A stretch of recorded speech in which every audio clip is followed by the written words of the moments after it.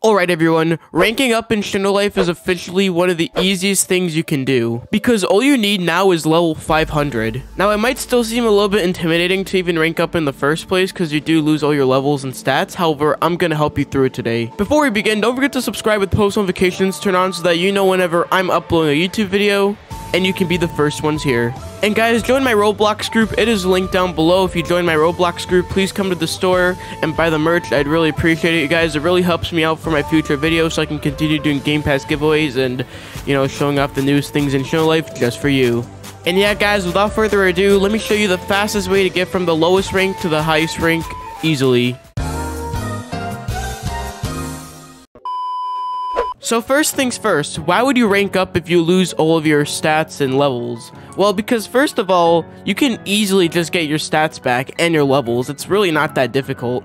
And the best part is that it's not like you lose your bloodlines or elements or anything. All you're really losing are your stats that you can get back easily. So I'd say ranking up is actually essential for you. Not only because it gets you even higher stats, but also because you can get a lot of spins from this. And if you're someone that really likes to use spins, this is honestly one of the best things you want to hear. But now that you can rank up twice as quickly, you can get so many spins. And pretty much every single rank, except for the first one, actually gives you spins, depending on how high you are. So I'm pretty sure at max rank, you actually get like 50 spins per rank up, which can actually add up to be a lot over time.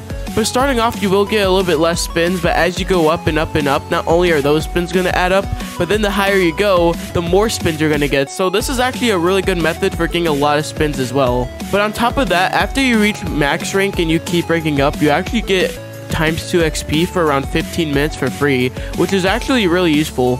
Now this might seem like a long process, but I promise you guys, now that RELL Games made it twice as easy to rank up. You could probably get to max rank in about a day or two now, which is actually insane.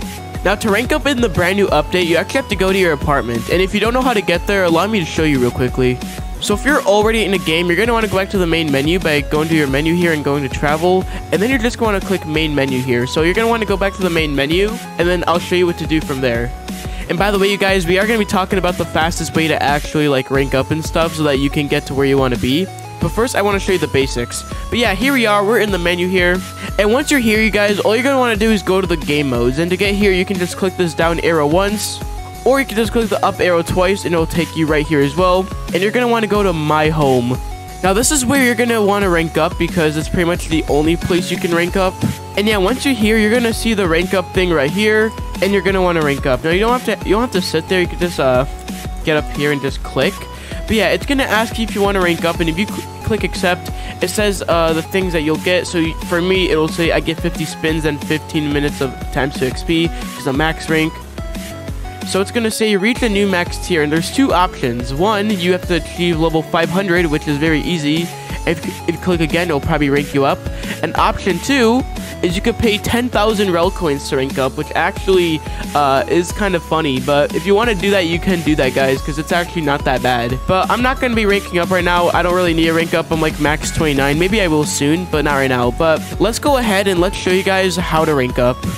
So imagine like all the steps you have to take to uh, leveling up in Shindo Life. First you do the logs, then you do the green scrolls, then you do uh, the boss missions. Well, you know what? We're pretty much going to make that twice as easier by taking out the boss missions, and here's why.